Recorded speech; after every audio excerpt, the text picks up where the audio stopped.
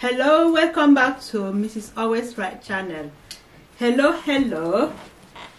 Good evening in UK. Hello. Um, let me check my focus. It's a bit. Let me see this. Sorry about that. I just want to put my camera in the nice position. So good evening once again, and welcome back to Mrs. Always Right channel. So it's been a very wonderful week for me. Today is Thursday, so Mrs. Always Right was having a day off, and I have really, really enjoyed my two days annual leave, which I always take it like that at unexpected. I just put it up and enjoy my annual leave. So I am so happy. Let me put my flower on. so it's been very uh, how will I call it busy week for me doing a lot of things both home and at workplace so I'm so happy that I had a bit of time to rest and enjoy myself and let me introduce my channel again so welcome back to Mrs. Always Right and Mr. Always Right channel. And this channel is always appreciative to our viewers and our and our let me put my volume on. Let me see. Sorry my mic was off. So this channel is dedicated to God very thankful to God in everything we do. So I am here first of all to say a very big thank you to God. I think my shadow is coming in as well my God. So I don't know if this the, uh, uh, something is clearer now. So this slide is in the way somehow.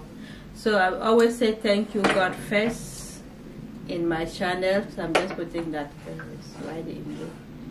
So it's going to make a lot of so I just say thank you God first of all because with God everything is possible. And all what we're looking for in our life is all provided by God, is the ultimate and is the provider. So he provides for us and he cares for us and he takes care of our need. And he doesn't look about what we have done wrong in our life. God is always there for us. So so that is why I have to say thank you God first because with God everything is possible and easy. So I also appreciate my subscribers in this channel. You've done so much to keep us going. Thank you for subscribing and thank you for following us. Thank you for watching our videos. So today I'm just going to talk about how we should focus on the blessings of God.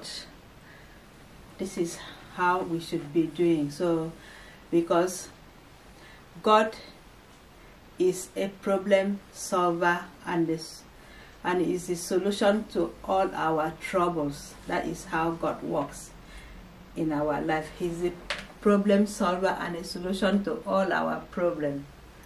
So that is the meaning of God because He cares for us. So He has everything in His in His uh, hand for Him to take care of. So we are part of it. He takes care of us in all our in our endeavors. God is always there to take care of us. So He doesn't give up give up on us. So so we have to focus on God's blessing and allow ourselves to recognize that He is evidence in our lives.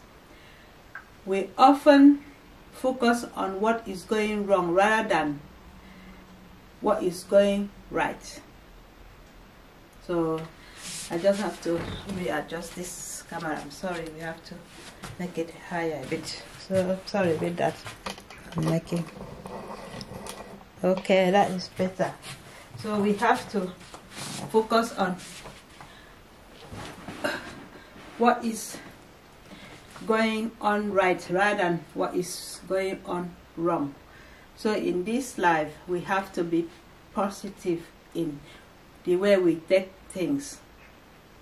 Because it is all our mindset that things can be very very critical. It depends on how you respond and react to situation in life. That makes it worse. So you, we often let us not get caught up in our trials. How about us getting caught up in in thoughts of all our triumphs? So being negative will weigh us down will weigh you down into a pit of depression. So you can understand. Everybody think differently somebody can be so stressed about small things while some people can cope but some people can cope with those things but inside them they are feeling it. They pretend in the outside that everything is okay but inside they are not feeling well.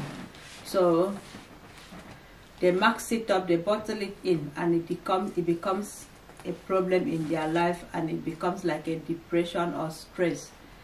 And they will stuck into such situation because of fear of talking it out and seeking for help. So being negative also will slow us down in our goals in life in our success in our career because of fear of uncertainty something we cannot we, we don't see we start getting panicking and fearful. So understand worrying does not fix our problem.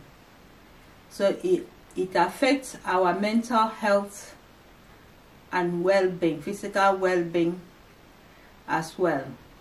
So when we understand and digest the thought that God is mindful of what we are going through, then we will understand that He will bring us through so we shall wait in peace for our breakthrough.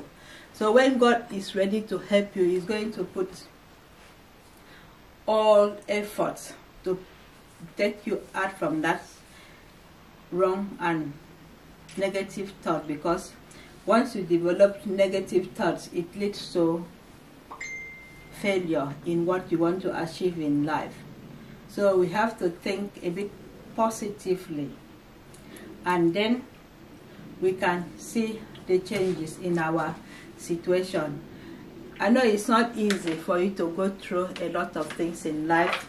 Hardship worries people helping to make it worse for you by constantly putting it up. Some people make up a lot of story to get other people into problem and then they feel happy once they make other people upset. There are some people like that. And when they see people that are happy in life, they will start to become very anxious and nervous because they are not happy about other people being happy. They enjoy to make other people cry or make other people sad. So that is the motives behind people who keeps on complaining or looking for other people to be in problem because their mind is always going out to make sure people are having problems. So once they sit down and see that other people are having problems, it becomes very they become very proud and feel good about it so we shouldn't do that to other people you got to be genuine in your own way of living we can't just be like drama king or queen causing problem and sweating to see other people reacting and suffering because of what we have put them through. So,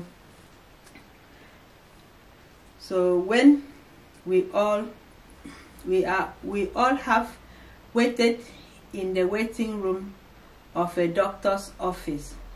We wait to be seen by a practitioner practicing physician.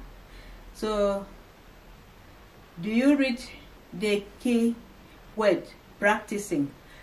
In that aspect, no, when you are waiting in the waiting room of a, of God, we wait for a great physician as well. He is the great I am. So I don't know about you, but I think it's worth to wait. He will lead and guide us and direct us to receive our breakthrough. So don't allow distractions of life to keep you from following the guidance and stay sensitive to the small voice within you. So that is how it is when we are with God. God is always there for us. So So in this world as well, we, when we are thinking that we're trying to cause trouble, but we should also develop a habit of giving your friend support as well. When you see somebody having a rough time, a rough day, and their emotions have been feeling critically hard on themselves, so try telling them not to be putting themselves because you see greatness in them. Try to support them. Tell them you care about them and be an encourager. Don't stay behind their back and mock on, on them and even pretend to be helping. Then by the time they think that you are helping them, you are the one that is making them uncomfortable. So next time you're having a challenging day as well.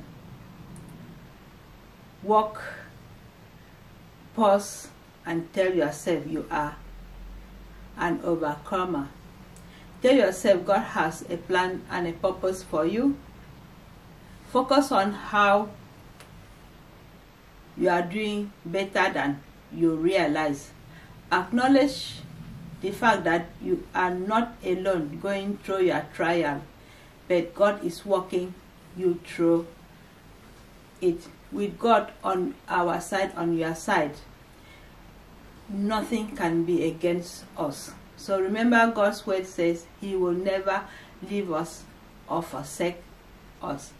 So be blessed and thank you for watching. And please don't forget to subscribe to my channel and please press the notification button on when we put our videos we can also you can also follow and also this channel appreciate all our subscribers and thank you thank you. God bless everybody and bye